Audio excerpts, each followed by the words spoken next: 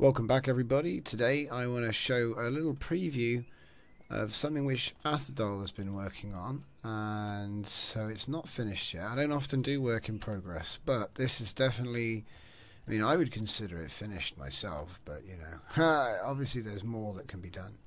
So we're just going to fly past my ship here. What's this thing called by the way? Uh, right now it's called the Armok God of Blood.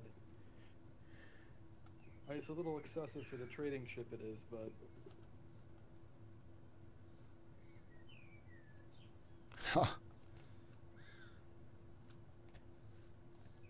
It's crazy. What are the dimensions?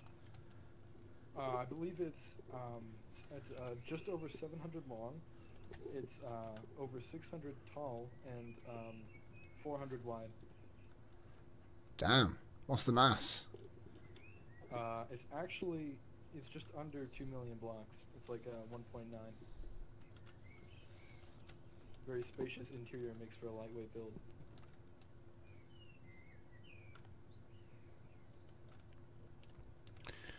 I'm just coming around the inside of it now.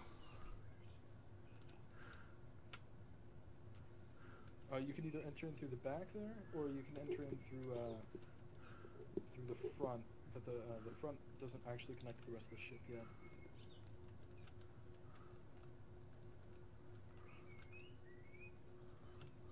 I'm just taking a look around all the exterior. I'm going to have to go in a bit closer. I've just been going around at a distance because uh, there's a lot of in a lot of, a lot of stuff. You know, it blends in.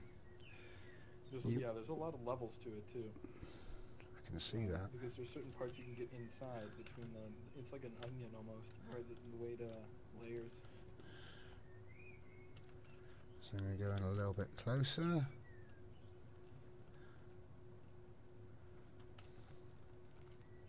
Uh, the way it was built, it was built with like you know, uh, it, this is my first and only ship, so the the first ship I ever made is actually in the very middle. It's the core, and um, the core is right where it's, it's been the whole time. But um, it started from that, and I build out like uh, layering it like like husk after husk, kind of like a cocoon. And uh, I would constantly do that until I got to something like this. Uh, and you can see that my building technique kind of refined as I got as it gets farther out. So the exterior is much more detailed than the interior and also some of the power systems are, you know, more efficient than they were. I'm coming under the inside skin here, taking a little look around. wonder if I can get through. Can I get through? I'm a little bit too fat to get through that hole. Ah, I can get through this one. Interesting. What's this? This is like an ice grass farm. Yeah, it is. Yeah, this is something recent I put in. Huh. Oh, and look, I can go under here. Am I in space? uh, yeah, probably. There's um, there's some parts of the, the ship that are open. I mean, there's uh, airlocks between the parts that are closed in for the hotel part, and then there's the uh, you know the colony hotel part, and then there's uh, the section to go outside of it. So I'm just going to sort of focus on mostly these exterior areas at the moment because there's a lot of cool stuff to show off. How long do you reckon you've put into this currently? Uh, do you want hours or like a, a time of how long I've played being? You know, uh, just a rough time of how much from start to finish. To to date, how um, long? To date, you know. So you started in November like or six months it's been been a little bit over six months that I've been working on the ship. Uh, I took maybe a month break, and I built on it every day other than that month, so... Uh, you know, an hour here, an hour there. Yeah. It's up quite a lot.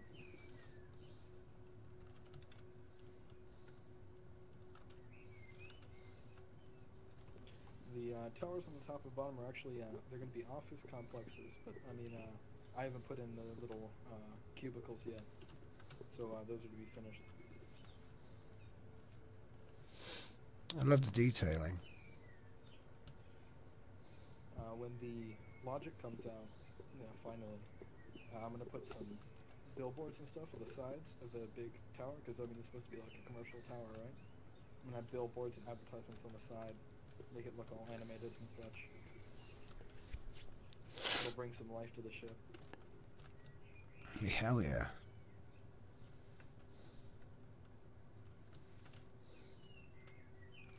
I love these intakes as well. Yeah, those are for uh, little miniature fighters. It's actually a model of a miniature fighter inside if you want to take a look at that. Oh, nice. Do you know, this would make a great auction room for fighters. Actually, that's a great idea. I'm going to take that in mind. I know Damon said that uh, we could uh, work on putting this in the next uh, auction. But yeah, I'll definitely take that into Oh, well, if he said that as well, I think that's a resounding vote of confidence. You'd only need to adapt maybe a door or something somewhere, you know? Like a bigger, just something. Yeah, so you- a, door on the top. Yes, as long as they could just float down to right here. I wouldn't even remove your fighter. I'd say keep it there because it's kind of symbolic. You get a big fighter in this space as well. That's really, really beautiful uh, because then you could have a nice, could build like an auctioneer's thing here, you know. Yeah, I could put a podium on one side. Yeah, well, like in the middle I would, and then over here people can just stand and vote, you know, bid. Oh, you know, it'd be even awesome. Can you see where I am? Yeah, yeah. Yeah, yeah. Well, we could actually make like something like a Mobius chair, but have the auctioneer or the you know the auctioneer. Oh yeah, the auctioneer could just fly around on a Mobius exactly desk yeah. chair thing. and the people could be standing on top of it. Amazing. Right, let's um what's this? There's more stuff through there through here. What's going on?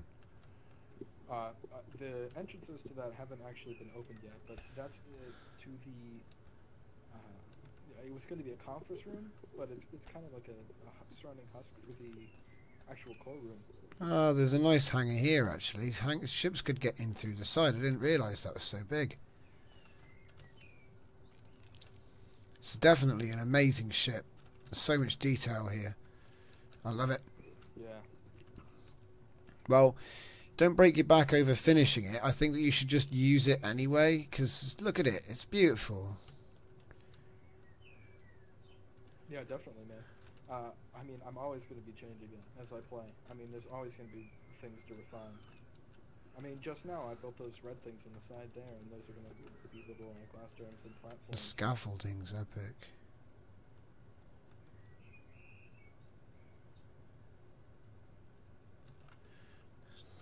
And those pads are a lot like little planet plates, so that's really cool. Right, I'm going to come in through the back hangar. Nice. I've already come in. It was it was open. Nice. Whoa. There's a bigger hangar door at the bottom. hmm Here, let me open all the doors. Dude, the interior's like a Halo map. You could do laser tag in here.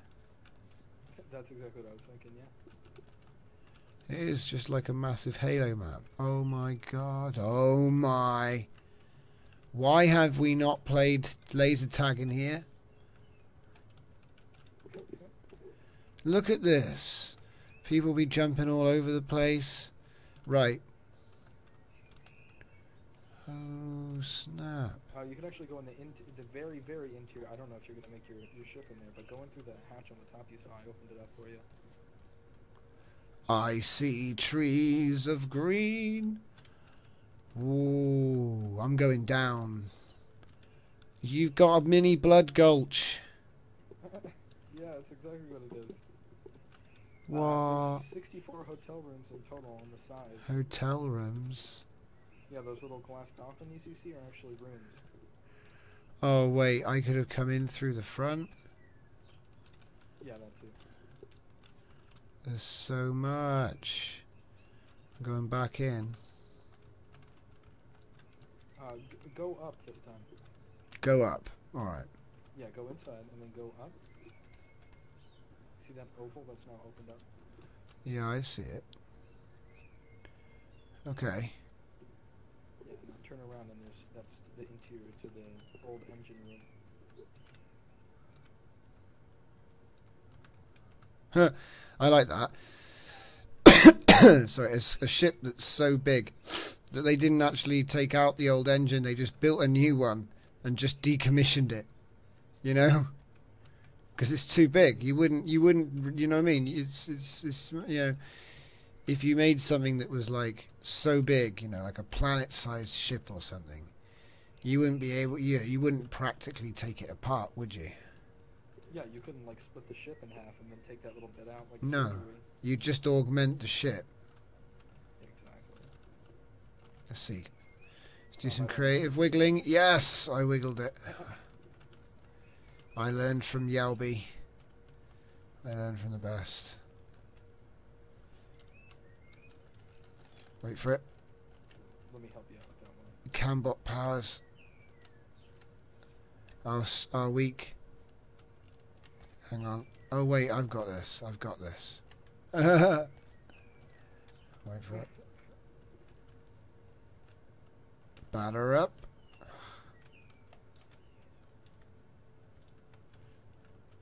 Wow. That's actually uh, I used to have a pulsator in, in here, right? And that's exactly where the pulsator would meet. The cross would meet inside that crystal. I had to eventually decommission the pulsar ray because of um, There we go. I guess it was energy reasons. That's better. Ah. So inside there, that was actually uh, this used to be the exterior glass hole, right? Mm-hmm. Uh, because I had this this viewing area, right? Uh, and back then there was I don't remember if you knew that glitch with the sun that would go in through the glass. Like wherever you looked, as long as you pointed towards the sun, it would show through the glass. Yeah.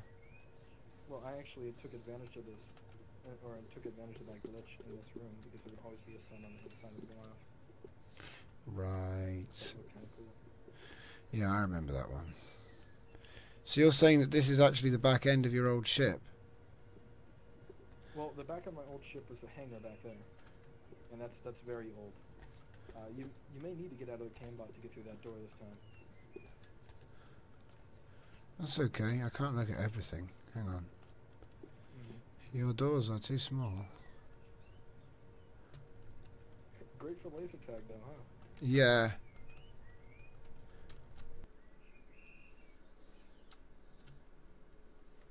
There we go. Fixed it. Oh, there we go. So those little uh, green battery rooms, back when uh, I had first learned that you know you can make use sticks to make generators more efficient. Those little uh, generator rooms to your sides in the green, right? Yeah. And the red are hangar bays because I used to color code all my rooms. It just made everything so much easier to you know comprehend. So these actually used to be my old hangars. I mean, this is all I had. They were, they're practically torpedo bays. I mean,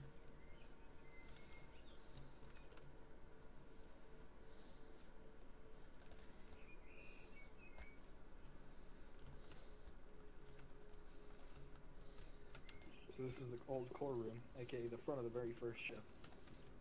um, Oh, yeah. Black box used to be my ship. It, it kind of looked like a Mayan head or something like that.